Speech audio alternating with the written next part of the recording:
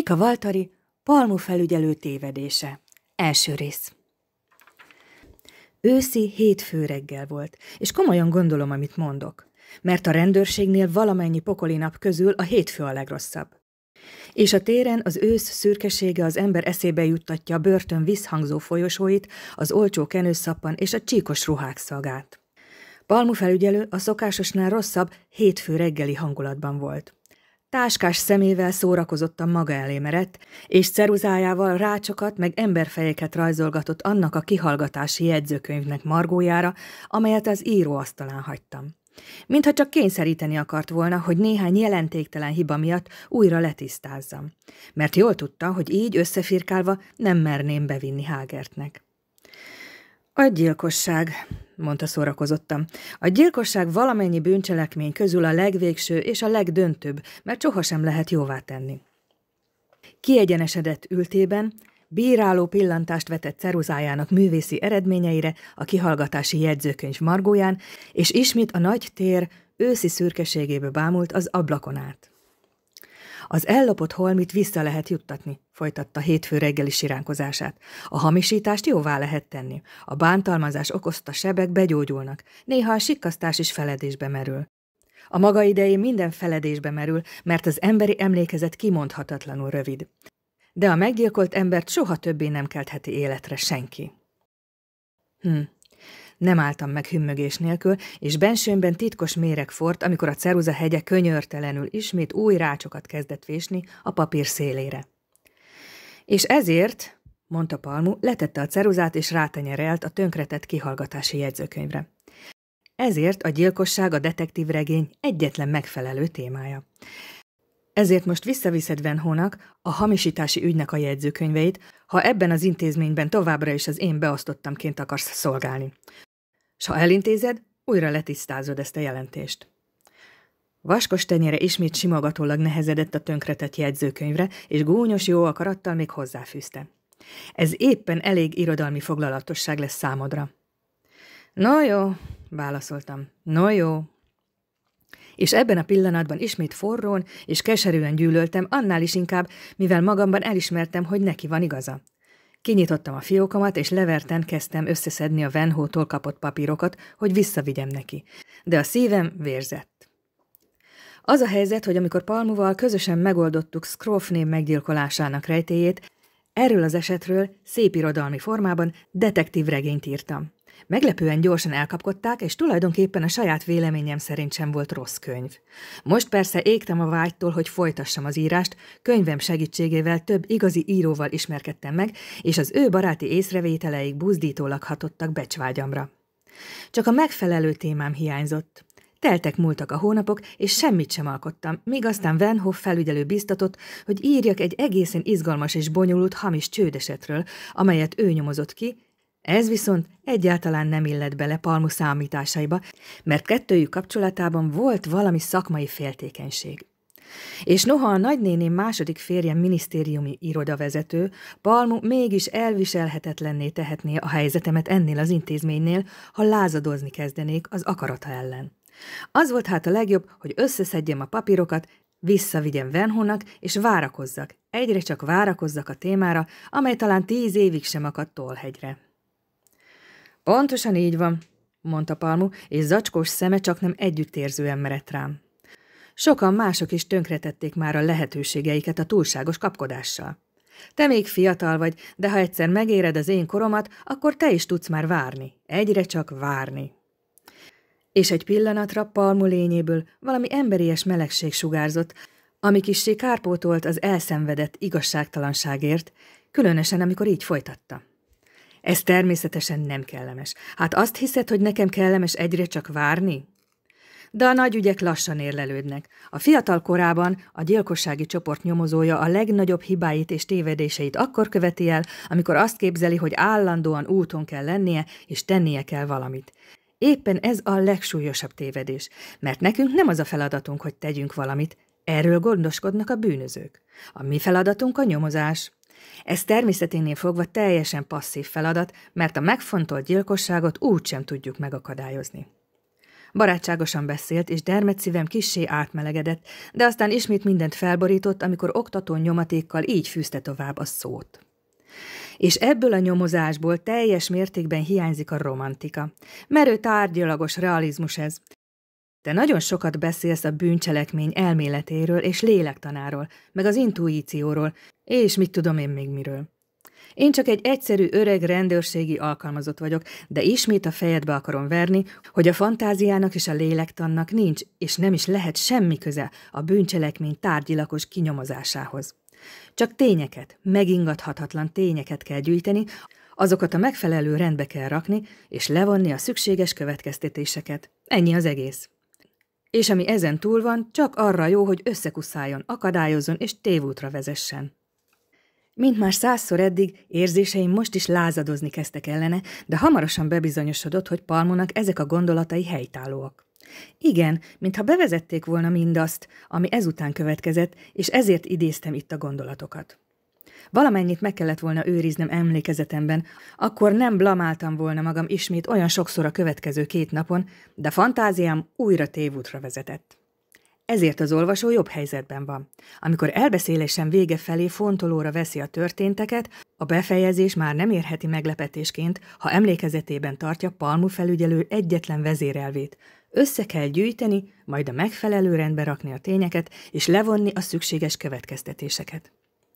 Én golyót kaptam a vállamba, kokkinyomozó kis hián a nyakamat törte, amikor rám esett, és különben is fajankó módjára viselkedtem.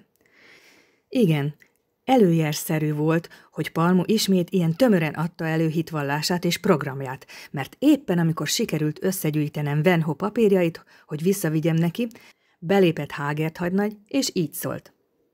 A pokolba, mégiscsak a pokolba vele. Ábrázatán látszott, hogy hétfő reggel van, és hogy előző este az északi országok rendőrnapjaira érkezett Dán vendégeket kalauzolgatta.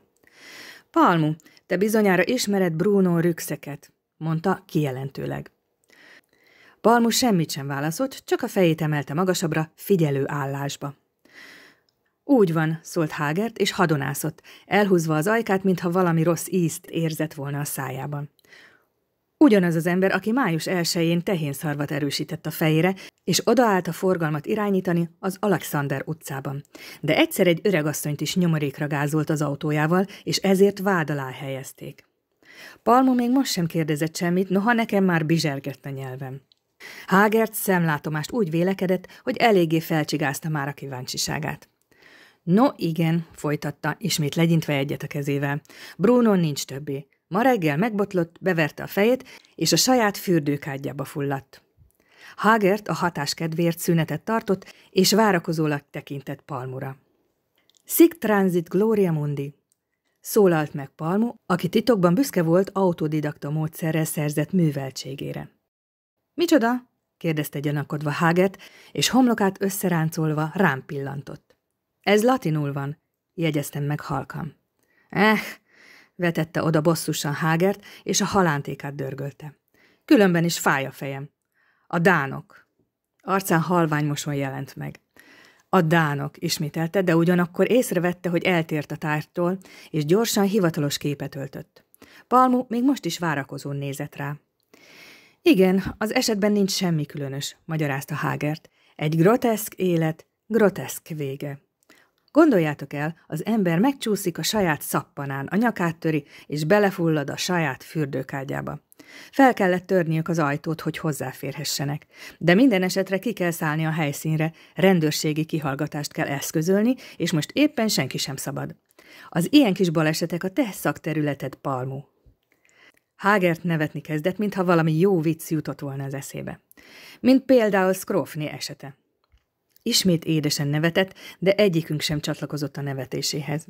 Én a magam részéről képtelen vagyok megérteni, hogyan tud annyit nevetni és gúnyolódni az én könyvemen, amikor még az irodalom kritikusok is megdicsérték. Palmu hidegen felállt, és szó nélkül levette a kalapját a fogasról.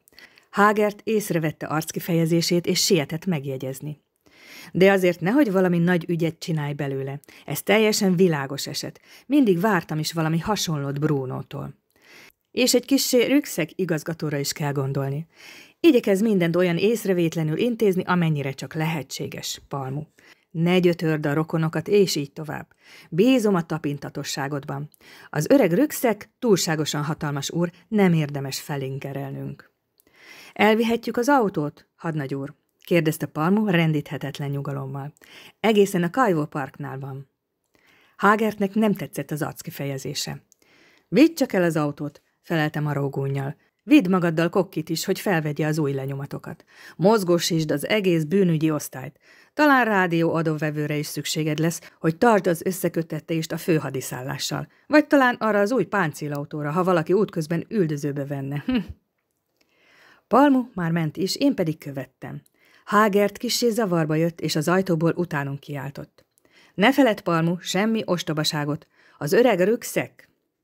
A végét nem is hallottam, olyan gyorsan siklott le Palmu a lépcsőn. Talán jobb lett volna meghallgatni a mondat végét, mert Hágert tisztelete rükszek igazgató iránt egy emberéletbe került. De nem vágok elébe az eseményeknek. Amikor Kokki megkapta az autót, és Palmu nyögve, kényelmesen elhelyezkedett, csak akkor mertem halkan, de nyomatikusan megszólalni. Felügyelő úr, ez gyilkosság. Senki emberfia nem fulladhat a saját fürdőkádjába. Palmu szórakozottan rám nézett. Fantázia, mondta, és nyögött egyet. Fantázia. A finn bűnügyi nyilvántartás ismer egy esetet, amikor egy ember a mosdótálba fulladt, és az is baleset volt. Valóban, jegyeztem meg, de az az ember az eszméletlenségig részeg volt, úgyhogy miután elesett, egyetlen tagját sem bírta mozdítani. Ma pedig mégiscsak hétfő reggel van. Azt mondják, folytatta nyugodtan Palmu, hogy amióta nagykorú lett, Bruno Rükszek sohasem ébredt józanon, sem reggel, sem este. Úgy bizony. Fölemelte a hangját, mert észrevette, hogy mondani akarok valamit. Nem szeretek hinni az emberek szóbeszédében, az ilyesmi rendszerén túlzás, de azért a mendemondának is van valami alapja. És ahogyan Hágert említette, Brunótól éppen ilyen véget lehetett várni. Valahogyan ez az a legtermészetesebb vég, amelyre vele kapcsolatban gondolni lehetett. Olyan ez, mint pont az i betűre. Ki hát, azaz ki volt ez a Bruno rükszek? kérdeztem nyakasan. Palmu kisé felvonta a szemöldökét, furcsálva a tudatlanságomat, hiszen az ő agya olyan volt, mint valami mérhetetlen dokumentációs szekrény, amelynek minden fiókjából tévedhetetlen adatokat merített Helsinki bármelyik valamennyire is ismert személyiségéről. Én még nem jutottam ilyen messzire. Bruno Rükszek felelte minden szavát gondosan mérlegelve. Helsinki vegyes pénzügyi arisztokráciájának leges legrandább kelevénye volt. Életmódja kritikán aluli. Már rég be kellett volna csukni valamelyik elmegyógyintézetbe, de az övé volt a Rükemű koncern részvényeinek egy része. Elhallgatott és maga elé merett, mintha ezzel mindent megmagyarázott volna. Kisvártatva óvatosan megkérdeztem. Rőkemű koncern? Ez meg mit jelent? Palmu csendesen mosolygott, és a fejét csóválta. Te mindig a diplomádra hivatkozol, és szívesen kicsúfolsz engem, ha nem használom helyesen valamelyik kultúrszót. Egyszer az életben belőled is rendőrhatnagy lesz, vagy bármi más, és bejössz majd a szobámba, és úgy káromkodsz majd ott, mintha otthon lennél. És mégsem konyítasz ahhoz, aminek igazi jelentősége van. A Rükemű koncern kisé tűzbe jött, a gazdasági életünket jelenti, egy részét azoknak az erőknek, amelyek ennek az országnak a fejlődését irányítják. Az ördög vigye el, ez az általános műveltséghez tartozik. Kokki hátra pillantott és mosolygott. A fülem égni kezdett. Palmu szánakozólag nézett rám. Most egy kis nemzetgazdasági előadást tartok neked, folytatta, ujjait összekulcsolta a mellén, és elgondolkodva fölemelte a tekintetét. Így többre becsülöd majd azt a hátteret, amelyben most váratlanul egy pillanatra becsöppensz. Azért mondom, hogy egy pillanatra, mert ugyanolyan gyorsan ki is repülsz belőle, mint amilyen gyorsan belekerültél. Mert az a nagyon exkluzív, ex, exkluzív, segítettem ösztönösen. Pontosan így, erősített meg biccenve Palmu. Tehát, a Rükema koncernt ennek a Brunónak a nagyapja alapította, a jelenlegi öreg Rükszek apja. A pénzvilágban kétségtelenül ugyanúgy vannak alkotó zsenik, mint más területeken. A kedvező körülményeken, a megfelelő időponton kívül a siker, akarom mondani a valóban nagy siker, a normálisnál nagyobb mértékben követel meg rendkívüli tulajdonságot is, amelyek közül egyesek pozitívak, mások negatívak. Mert a lángelmélyűség sohasem jelent kizárólag pozitív vonásokat. A századforduló táján az öreg rükszek a pénzvilág ilyen zsenie volt.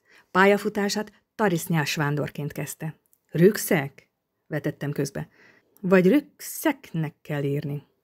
Palmunk kegyesen bólintott. Így van. Miután első vagyonát megteremtette, az öreg rükszek svéd nevet vett föl, amint az abban az időben szokásos volt. Valaki talán gúnyolódva tanácsolta az egykori házalónak a rükszek nevet. De az öreg hadilában állt a helyesírással, és így is maradt mindvégig. Először fonetikusan rükszeknek írta nevét, majd később csiszolgatta, de csak nagyon ritkán tudta ugyanolyan végleges formában leírni, mint az utódai. Bár egyre ment, mert a bankok számára az ő neve milliókat jelentett még a régi jópénz idejében, Akár rükszeknek írta, akár rükszeknek, vagy rükszeknek, vagy bármi másnak, ha egyszer felismerték az öreg saját kezű szarkalábait. Nagykereskedéseket, fűrésztelepeket, mezőgazdasági vállalkozásokat, hámorokat és egyebeket alapított. És nem szégyelte származását, hanem kérkedett vele. Azt állítják, hogy a végrendeletében volt egy külön pont, amelyben meghagyta, hogy egykori nyírfakérek tarisznyája emlékeztetőül függjön a Rükemő koncern igazgatói szobájának a falán. Mert vénségére természetesen különös ember lett belőle, és amikor adományozni kezdett, még egyéb furcsaságokat művelt. A legidősebb fiú a mostani öreg rükszek vette kezébe a gyeplőt. Koncernt alapítottak, és az öreg teljesen visszavonulva élte le néhány hátra maradt évét. Azt mesélik, erőszakkal küldték a más világra, bár ez persze mendemonda is lehet. Miután meghalt, a koncern Finn nevet kapott, és a végrendelet értelmében jelenleg családi vállalkozás, amelynek részvényeit nem adhatják el kívülállóknak. És a mi viszonyaink között hatalmas vállalat. Van forgótőkéje és tartalékalapja, és adóalapja, és minden egyebe. Az öreg utódai a harmadik, sőt a negyedik nemzedékig milliómosok maradnak, ha legalább egy kis észszel intézik az ügyeket. Ezt a terhet a jelenlegi rükszek igazgató hordozza, a többi utód pedig csak a maga osztalékát élvezi, és mindegyik bolond a maga módján, mint például Bruno. A pénz átka, mondtam megértőleg. Öröklődés, válaszolta Palmu. A lángelmélyűség és az őrültség együtt jár, és így tovább. De azért nem. Olyanok sem hiányoznak, akik emlékeznek az öreg üzleti módszereire, keménységére és könyörtelenségére, ami talán a nagy siker nélkülözhetetlen feltétele, és azt mondják, hogy átok tapad az öreg pénzéhez. Így éppen Bruno, aki mindennek az egynegyedét birtokolta, pénzével pontosan azt csinálta, amit a pénzzel nem volna szabad csinálni. Ebben megközelítette a tökéletességet, éppen úgy, ahogy a nagyapja is a maga módján megközelítette a tökéletességet. Szóval, jegyezte meg Kokki, és megállította az autót. Életében vidáman élte a napjait és Kokki szavaiban egy kis irítség bujkált. Egy magas falkerítés kovácsolt vas kapuja előtt álltunk meg. A kapun a cifra aranyozott betűk BR monogramot alkottak. A falkerítést őszi színekben díszlő növények levelei takarták, de a levelek közül a fal tetején hegyes vasrudak meredeztek a betalakodók távoltartására. A kapu tárva nyitva állt. Széles, aszfaltozott út vezetett a házhoz. Az utat mindkét szélén virágágyakba ültetett és az éjszakai fagytól megcsipett dáliák szegélyezték. A gyepszőnyeg még világos zöld volt. Oldalt a garázs látszott széles ajtajával. Maga a ház csak nem új volt, egyemeletes fehérre vakolt kőház. Kisebb volt, mint vártam, de azért magányos előkelőségében a jókora kert közepén igen hatásosan mutatott itt, ahol a telek minden négy szögöle sok pénzbe került. A széles ablakokról a csiszolt üveg előkelő szemételen ragyogása áradt. A főbejárat fényes mahagóni ajtajához széles kőlépcső vezetett. Érzékeny vagyok a benyomásokra.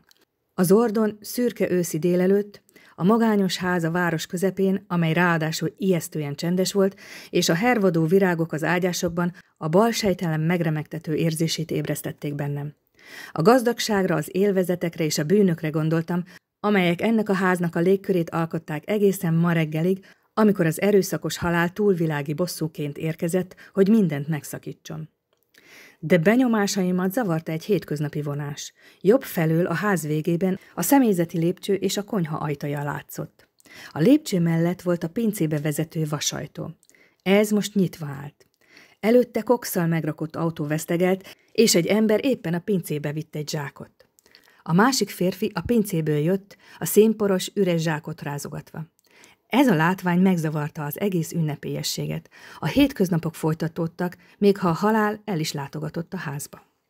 Palmu felügyelő a kertet körülvelő falkerítés hegyes vasrógyaira pillantott, a ház gránitkő alapzatában levő alacsony pinceablakokat és az őket védő kifelé hajló vasrácsokat nézegette.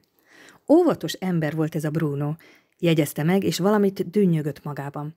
De a baj az óvatos emberrel is megesik. Határozott léptekkel elindult a főbejárat felé. Tisztelettudóan fél lépésnyire követtem, és mögöttünk kokki nyomozó baktatott, mint aki nem is tartozik hozzánk, szemlátomást zavartan, mint mindig, amikor előkelő helyre került. A hatalmas mahagóni ajtó előtt én is úgy éreztem, mintha túlságosan magas lennék, a vállam széles, a cipőm pedig aránytalanul nagy. De Palmu felügyelő nem érzett kisebb rendűségi komplexust. Megnyomta a csengő gombját. Hosszan csengetett. Az idő pontosan hétfő reggel 10 óra 55 perc volt. Az ajtó szinte ugyanabban a pillanatban kinyílt, mintha az ajtónyitó már az ablakból figyelemmel kísérte volna jöttünket. Merev tartású, kifejezéstelen arcú férfi bocsátott be bennünket. Libériáján fényes gombok voltak. Kemény gallért és fekete nyakkendőt viselt. Szőke haját ellenszenvesen simára kefélte, és középen választotta el. Miközben beszélt, tekintetét a földre szegezte. Szóval bűnöző külseje volt, és miközben őt nézegettem, először a hámló kígyóbőr jutott eszembe. Inas! Súgta a fülembe tudóan lihegve kokki. Udvarmester, Helsinki-ben. Hangkordozása a szavainál is világosabban beszélt. De Palmu látott már inasokat, amikor a függetlenség napján adott fogadásokon a felöltőket őrizte. Ő nem lepődött meg. A rendőrségtől jövünk, hogy a szerencsétlenséggel kapcsolatban vizsgálatot folytassunk, kezdte tárgyilagosan. Itt van még a tetem? A tetem? Ismételte meg mogorván az inas, és rosszallóan felvonta a szemöldökét. Rükszek urat a mentők éppen most vitték el a kórházba. Hát nem is halt meg? kérdezte csodálkozva Palmu, és feltétlenül érezhető volt a hangjában a csalódottság árnyalata. Én is zavarba jöttem. Vár a mérnök úr, és én, válaszolta az inas fagyos komolysággal. Mesterséges légzésben részesítettük, mihelyt kiemeltük a fürdőmedencéből. Vár a mérnök úr, mintha az életi jeleit észlelte volna rajta. Nyomban telefonáltunk Rükszeg úr házi orvosának, és az ő tanácsára hívtuk a mentőket. Minden okunk megvan remélni, hogy az oxigén készülékkel magához térítik. És kinek támadt az a zseniális ötlete, hogy a rendőrségre telefonáljon? kérdezte Palmu marógúnyjal. Az inas egy cseppet sem engedett fel, és nem szállt le a magas polcról. Valamennyien elvesztettük a fejünket, felügyelő úr, válaszolta. A szerencsétlenség komolynak látszott. Bátorkodtunk tanácsot kérni a doktor úrtól. Vára, mérnök úr, bizonyos akart lenni afelől, hogy bizonyíthatólag semmi nemű hanyagság nem történt, hogy minden elengedhetetlenül fontos intézkedést megtettünk, mihelyt felfeleztük a szerencsétlenséget.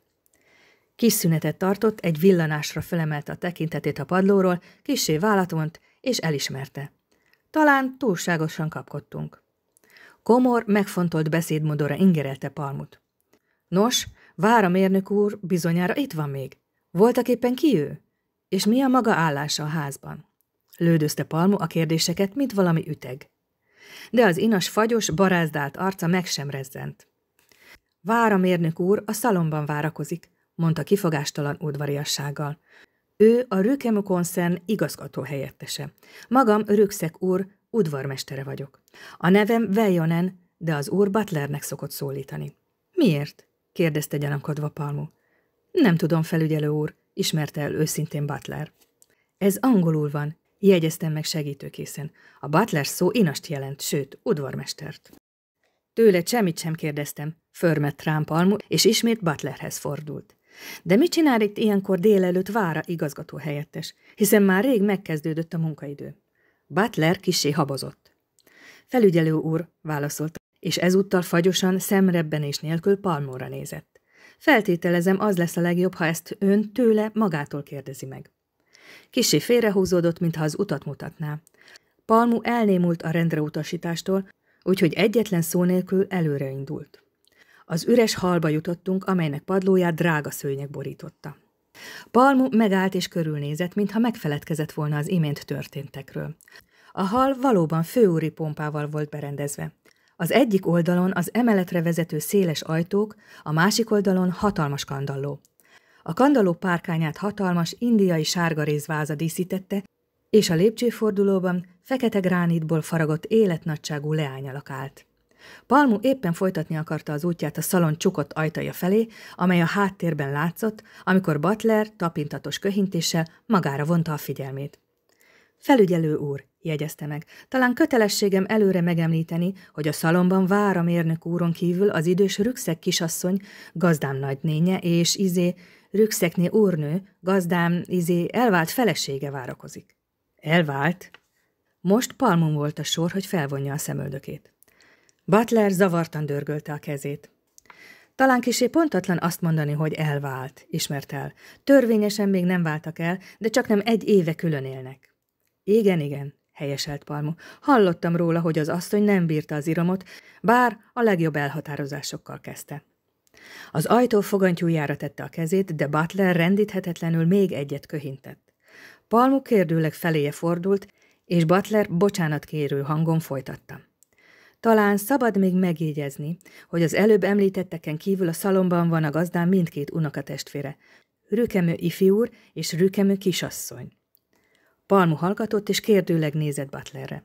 De Butler nem bővítette tovább a névsort, hanem egy kézmozdulattal jelezte, hogy befejezte mondani valóját.